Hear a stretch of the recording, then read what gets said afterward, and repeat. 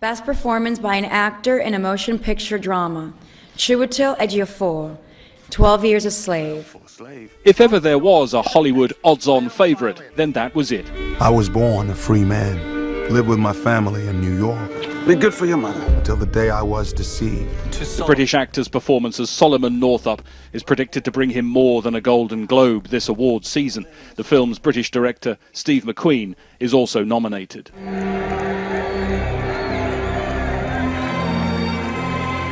It's maybe not surprising that the performance of another Brit, Idris Elba, as Nelson Mandela, received recognition now too. Judi Dench, Philomena, Emma Thompson, Saving Mr. Banks, and Kate Win- Winslet, Labor Day.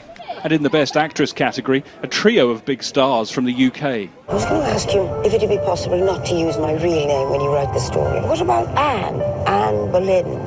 Dame Judi Dench's role as Philomena Lee, searching for her long lost son, up against Emma Thompson as the author of Mary Poppins, battling with Walt Disney. Stop! Mary Poppins is not for sale. I won't have her turned into one of your silly cartoons.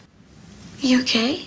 Sally Hawkins is nominated as Best Supporting Actress for her part in Blue Jasmine. And Christian Bale's transformation into a con man for American Hustle earned him a Best Actor nomination. It's got to be the best we've ever done.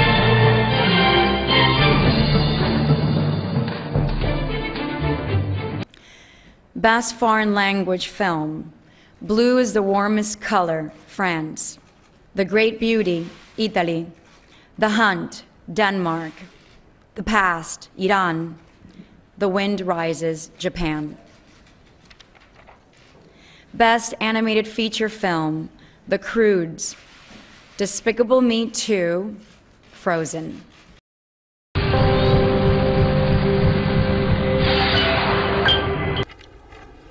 Best Director, Motion Picture. Alfonso Cuarón, Gravity. Paul Greengrass, Captain Phillips.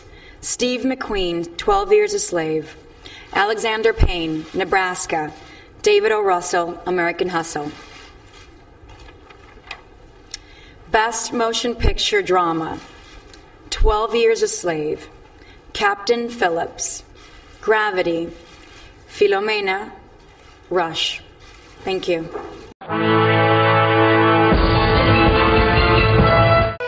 Two films especially are to look out for, getting seven nominations each. And you know that I would never say First, American Hustle. in front of you, but your father is a sick son of a bitch. Daddy the sick son of a bitch. Don't repeat that.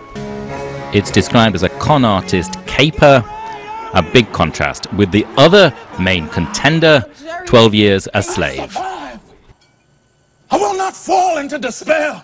It's based on a memoir of a free man kidnapped and sold into slavery. You come here.